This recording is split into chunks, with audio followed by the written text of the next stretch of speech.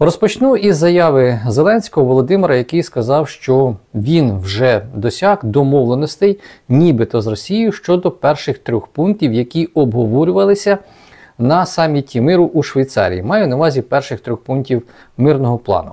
Ну, принаймні, так спочатку написали журналісти інтерфаксу, потім їх передруковували усі українські ЗМІ. А нині ця новина на сайті інтерфаксу видалена і пізніше.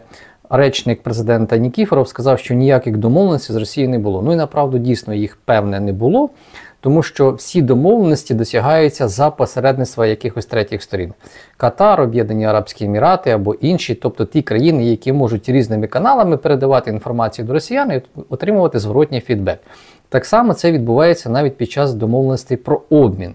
Тому, в принципі, тут нічого екстраординарного немає, дійсно прямих контактів немає. Але для офісу це дуже чутлива тема, тому реально зачистили сьогодні інформаційне поле, ну щоб не було якихось трактувань, бо дійсно на даному етапі ми не домовляємося з Росією ні про що. Це правильно, я вважаю, такий наратив поширювати не можна. Цю тезу президент сказав під час зустрічі із журналістами вчора, 20 вересня. Сьогодні її публікували. Ну, прямо мова принаймні звучала таким чином. Тому ми активно працюємо над нашим планом. Три пункти вже підготовлені. Зустрічі в онлайн форматі відбулись. Ще будуть зустрічі в офлайн і онлайн. І, як ми сказали, на початку листопада весь план буде готовий. Тому це поточнення важливе. Втім, що власне передбачає мирний план, який Зеленський фактично вже презентував широкому загалу. Він не говорить про нього максимально детально, але в загальних рисах зрозуміло, що мова йде на сьогоднішній день про запрошення України. До членства в Північно-Атлантичному альянсі, що, як на мене, є абсолютно поки що недосяжною ціллю, але рухатися треба однозначно. Гарантії поставок сучасної зброї, Чіткий шлях щодо членства в Європейському Союзі. Учора у нас була президентка Європейської комісії Урсула фон дер Ляєн, е, і вона говорила, що в принципі Україна ну, доволі е, послідовно і класно рухається саме до ЄС, виконує вимоги, які ставить перед нами ця спільнота. Але ну, ми знаємо, що нас багато проблем від корупції до створення привабливого інвестиційного клімату, судова реформа, правоохоронна реформа. Тобто, ну дійсно проблем дуже дуже багато. Це так загалом я говорю, але якщо розбиратися і копросатися в усіх внутрішньополітичних нюансах, то нам ще треба зробити дуже багато. І четвертий пункт це інші економічні та безпекові домовленості. Поки що так в загальних рисах. Цей план е, окреслений для е, журналістів був. Нам це переказали, але відомо на сьогодні, що президент буде представляти цей план у Сполучених Штатах Америки Джозефу Байдену, Камалі Харріс, Дональду Трампу і іншим. До переговорного нашого процесу із американцями активно долучаються час від часу різні політики. Вони пишуть колонки, пропонують свої мирні плани і таке інше. Чому я говорю саме з американцями? Тому що нам важливо отримати максимальну підтримку від Сполучених Штатів Америки і. Дійсно домогтися виконання певних наших вимог, як то, наприклад, і членство Північно-Атлантичному альянсі. Сьогодні у виданні де спектатор виходить нова колонка дуже відомого в Україні колишнього правда прем'єр-міністра Великої Британії Бориса Джонсона. Під час Ялтинської європейської стратегії Борис Джонсон продемонстрував її учасникам відео, яке він записав разом з Дональдом Трампом, де Трамп говорить, що він знає, як припинити війну. Е, це можна зробити мудрістю і силою. Як конкретно не зрозуміло. Президент України Володимир Зеленський сказав, що під час зустрічі з Дональдом Трампом наприкінці цього місяця, тобто наступного тижня, він спробує з'ясувати, що ж мав на увазі Дональд Трамп. А Борис Джонсон є таким собі посередником між Україною і Дональдом Трампом нині. І от він у своїй колонці пише, що настав час все-таки надати Україні повноправне членство в Північно-Атлантичному альянсі. Погоджуюсь, абсолютно. Але що він власне пише? Стаття 5 договору про колективну оборону поширюється тільки на підконтрольну Україні територію. Водночас там має бути зафіксовано абсолютне право українців на всю територію в межах кордонів 91-го року. Ну, Це означає, що ймовірно буде заморожена війна по якійсь лінії фронту, проти чого активно виступають в офісі президента України. Ми дійсно також проти цього.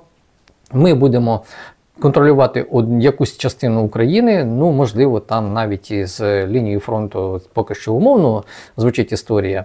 Тобто ми не розуміємо, як то все буде виглядати. Ви вже чули історію з міжнародними адміністраціями. І ідея Бориса Джонсона про те, щоб нас прийняли до НАТО лише тією частиною, яку ми контролюємо, вона не нова.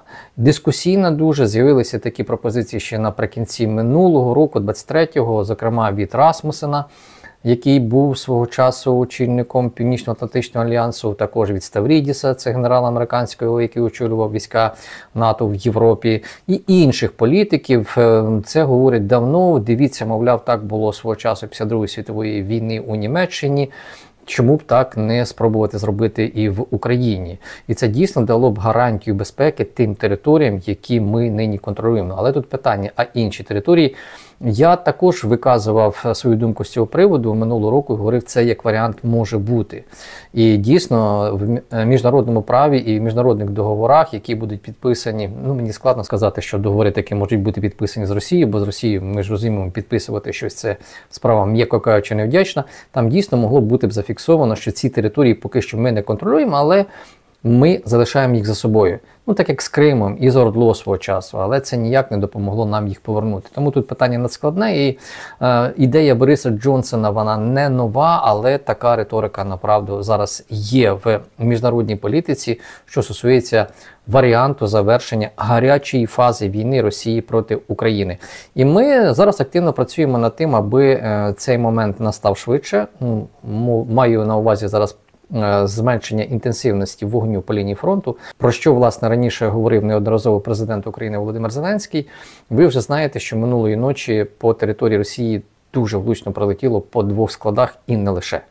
Є вже офіційна інформація від Генштабу Збройних сил України, але спочатку повідомлю вам, що е, до Росії прилітали дрони СБУ, дрони головного управління розвідки, дрони Сил спеціальних операцій і інші тобто дрони Збройних сил України. Так от, мовиться про те, що дрони СБУ в ніч на 21 вересня завдали ударів по складу з боєприпасами та ракетами у Тверській області. Ви вже знаєте про цю історію, я вам розповідав у ранішому відео.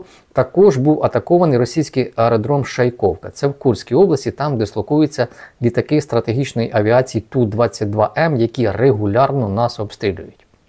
Окрім того, як стало відомо, у Краснодарському краї горить база Молькіно, де колись базувалися бойовики ПВК Вагнера. Пишуть, що горять адміністративні споруди. Зараз це нібито місце, яке зайняли представники африканського корпусу. Конкретнішу інформацію я вам сказати не можу, тому що вона доволі обмежена. Але справа в тому, що удари минулої ночі були не лише по складах боєкомплектів. Це дуже важливий момент. І тепер вам до уваги, друзі, офіційна інформація Генерального штабу ЗСУ. Я акцентую вашу увагу на ній, бо там є один дуже цікавий момент. Е, що пише Генштаб? Тихорецьк, що в Краснодарському краї був підданий удару. Цей об'єкт входить в трійку найбільших баз зберігання боєприпасів окупантів та є одним з ключових в логістичній системі російських військ. Далі, в момент удару на території арсеналу знаходився черговий ешелон, який доставив щонайменше 2000 тонн боєприпасів, зокрема і з Північної Кореї. Про іранські ракети тут поки що мова не йде. Атаковано також радіолокаційну станцію Подльот, що виявляла повітряні цілі в напрямку арсеналу. Мовилося вранці про те, що нам вдалося війти в систему ПВО російську, яку недооцінювати, друзі, не варто. Ну а далі в цьому повідомленні мовиться про те, що СБУ також завдавали ударів і по населеному пункту Октябрьській в Тверській області. Хоча там є інший е, населений пункт, де розміщений такий склад боєкомплектів, тобто інформації доволі багато. І на саме завершення в інформаційному повідомленні на сторінці в Facebook написано, що завдання були успішно виконані у взаємодії, як я сказав на початку, підрозділів Сил оборони, сил безпілотних систем, сил спеціальних операцій ЗСУ, Служби безпеки України та інших. Про ГУР мова не йшла. Зовсім. Ну, інші мається на увазі, мабуть, ГУР, але в самому повідомленні абревіатури ГУР, головне управління розвідки, немає. Вчора було звільнено двох заступників Кирила Буданова без погодження з ним. Це зробив Умєров, ну скажімо так, сам. Ну він має на це законне право. Чому так? Е, ймовірніше за все, сьогодні є певне непорозуміння між Сирським та Будановим. Ну, воно виникло, в принципі, не сьогодні, а в цьому звіті, як бачите, чергове підтвердження. Тому переходьте це відео, дивіться, ви там дізнаєтесь багато цікавих деталей, інсайдів про нинішню кадрову політику в Міністерстві оборони, яка безпосередньо торкається і головного управління розвідки, в тому числі, і подальшої долі Кирила Буданова.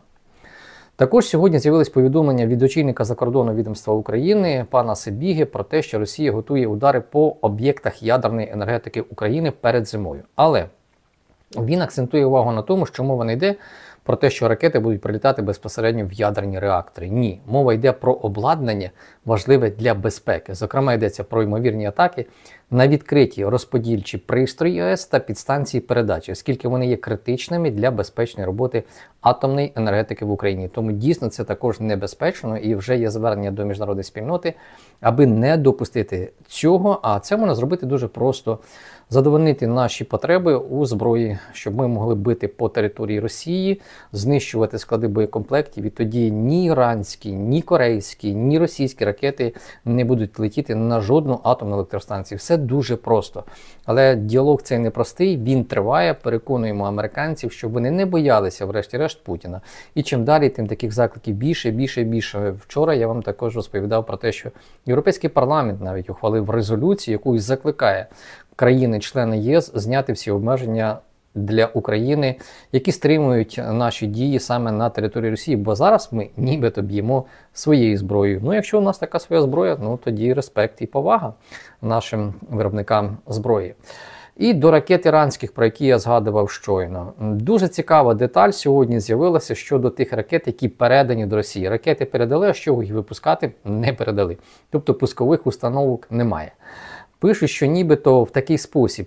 А росіяни можуть виготовити їх самі, і автомобілі, які вони для цього використають, це їхні вітчизняні Урали е, і також ЗІЛи, ну вони реально дуже класні військові машини, без перебільшення і без применшення. І там розробити цю пускову установку, точніше, виготовити її не надто складно. А з іншого боку, пункт Б мовиться про те, що нібито Іран залишає собі шпарину для перемовин із е, західними нашими партнерами для досягнення власних цілей. Тим паче у Ірану зараз будуть великі проблеми. Ізраїль е, продовжує військову атаку по півдню Ливану. І він наголошує на тому, що не буде зупинятися військова операція е, проти Хезболи. Тому що нещодавно ви знаєте цю історію з пейджерами, потім були обстріли по Ливану, там знищений ватажок Хезболи.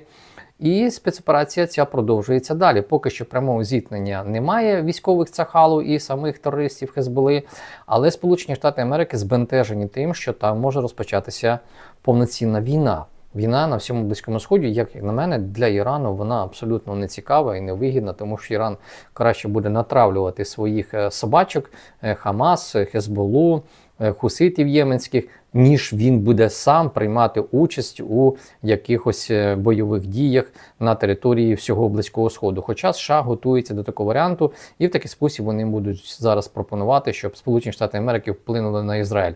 Але вплинути на Ізраїль справа, ну м'яко кажучи, не дуже вдячна і непроста. Як показує практика останніх кількох десятків років. Ізраїль доволі самостійний в ухваленні рішень щодо стримання агресії проти своєї країни і відстоювання власної незалежності. Такими маємо бути і ми. І це ми зараз, друзі, і робимо. На сьогодні всі новини, які я вам хотів повідомити. Ще раз принагідно дякую вам за те, що ви долучаєтеся до зборів, які ми проводимо нині і для 66-ї бригади, і для іншої. Попередні ми закрили буквально за 4 дні. Тому велика вам подяка і шана, мої дорогі підписники. Запрошуйте своїх знайомих до нашого каналу. Всіх любить ціну шану і не перемикайтесь. Все буде Україна!